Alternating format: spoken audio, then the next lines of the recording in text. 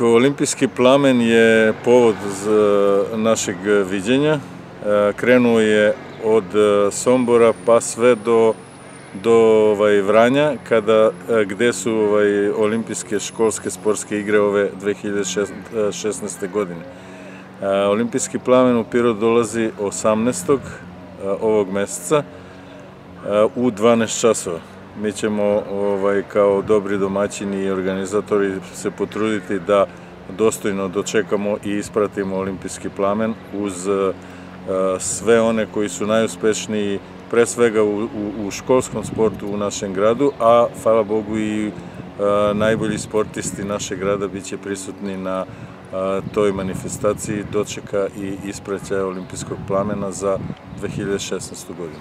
Olimpijska godina, u svakom slučaju, sve što se događa u sportu ima taj prizvuk, mi smo u olimpijskoj godini. Malo pre sam i sa Nešom Đorđevićem razgovarao, Pirot ima priliku ovo se naslanja na, na tu manifestaciju da možda ima dvoje takmičara na, na Uriju, uh, Uroš Mijalković kao karatista i Saška Sokolov koja je trenutno, kada je u pitanju bacanje koplja, treća po rezultatu na svetu na paraolimpijskim igrama.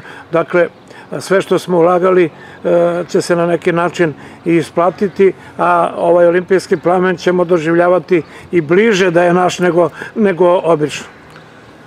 Pa ja se nadam da svi piroćanci dele moje mišljenje i navijaju za naše sportiste koji su u prilici da ostvare vizu za olimpijske igre u Riju. Nadam se da će im poći to za rukom i da ćemo i mi kao grad imati predstavnika na jednoj takvoj manifestaciji gde ni mi koji puno radimo u sportu nismo svesni kako sve to izgleda i šta je to u stvari. Verujem da ukoliko njih dvoje budu slobodni tog dana, da će oni učestvovati u ovom spektaklu.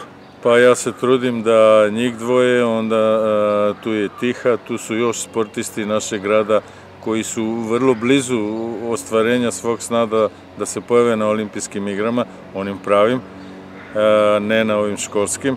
I mi imamo puno ekipa i pojedinaca za, za olimpijske igre u, u, ovome, u Vranju, ali nadam se da će oni biti slobodni, da neće baš tog dana imati neka značajna takmičenja i da će svojim prisustvom uveličiti doček i isprećaj olimpijskog plamena u našem gradu. I kada već govorimo o olimpijadi, samo nekoliko rečenica, Pirot će biti domaćin olimpijade, ali školske 2020. godine. Velike zasluge za to pripadaju gradu, e, e, lokalnoj samupravi, ali i vama i vašem radu kada je u pitanju školska olimpijada.